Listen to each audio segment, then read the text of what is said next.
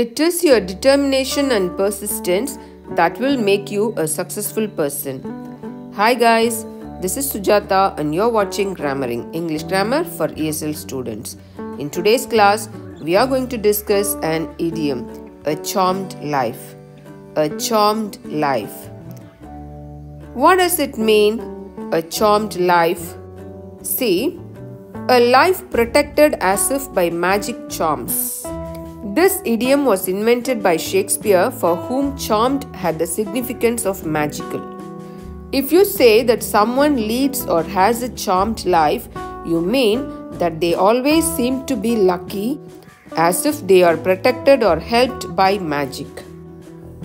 A charmed life means a life unusually unaffected by dangers and difficulties.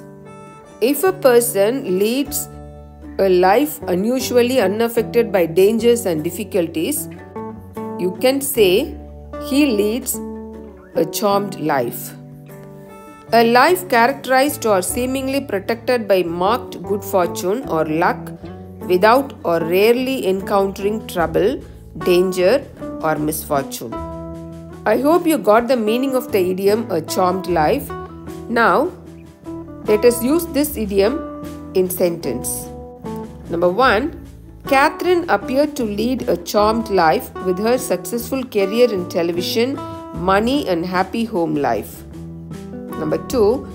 Arun leads a charmed life. He was lucky enough to survive after a terrible road accident. Hope you enjoyed this video. If you find this video informative, please like, share and subscribe. Thank you.